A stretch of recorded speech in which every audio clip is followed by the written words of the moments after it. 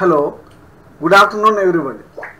Today I will tell you step by step how to make a copy of your Google form then make it editable by anyone with that link. Okay, so we'll go step by step. First you to open your which Google form you want to make it editable for others you want to help.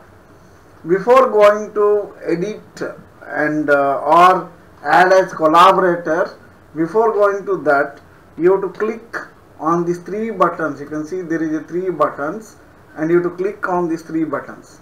Once you click on these three buttons you there is a make a copy there. You can see there is a make a copy. So you can click on this make a copy.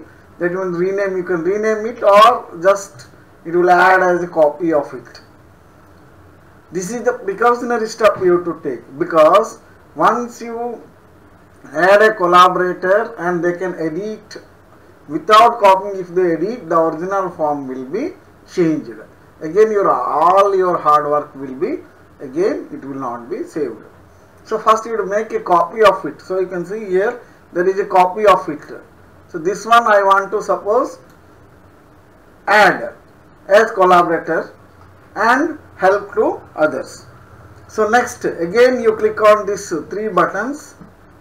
After that you can see there is a option in the drop down menu add collaborators. Once you click on the add collaborators you can see so I am only here.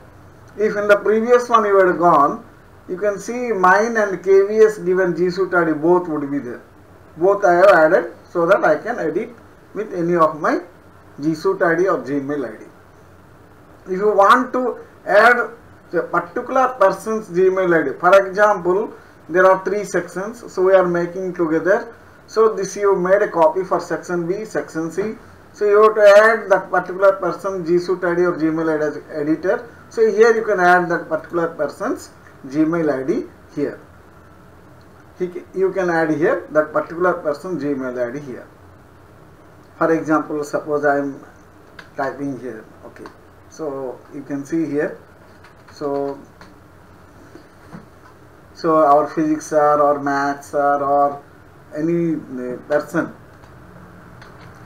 or chemistry madam. So there I want to add. So I can add their Gmail ID so that for each section one one teacher will be a honor and they can uh, see the response they can evaluate and uh, they can release this course now so first you click on again add collaborators but you want to create a link. With that link anybody can make a copy it. Then they can add or delete or modify according to that uh, KVS RO the pattern or whatever it is decided the pattern of the questions according to the score what the score how many marks you want to give and the pattern of the questions more descriptive or more objective like that.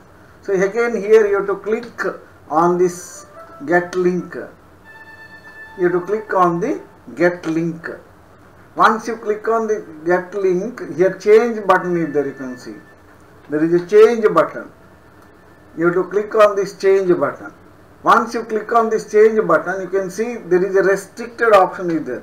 Means this link nobody can open if you send the link also. So you have to click on the drop down menu. Then anyone with this link, you have to click on this anyone with this link. Once anyone with this link is created, then what will happen? Anyone with this link they can be editor. So once they make a copy, they become the owner then click on the copy button then click on the copy button or copy link you can see here click on the copy link then you want to share suppose I want to send our biology or physics or any group so that it will be useful to others. So just paste that link. Just paste the link then automatically this link others can see it. You can see here in this group so other teachers once they click on this link they can make a copy it and they can edit and they can use according to their requirement of their Hope it is very useful. Please give your valuable comments, suggestions which are required so that in my future YouTube videos I can make it more useful uh, YouTube videos which are use more useful for our technically for our teaching community and how it will help in our online classes or evaluation or making uh, analysis result analysis of CBSE or like that. Thank you very much. Thank you very much.